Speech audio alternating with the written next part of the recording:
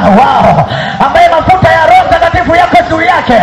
akisimama mahali hapa leo, lazima mbingu zishuke mahali hapa, na si mwingine anaitwa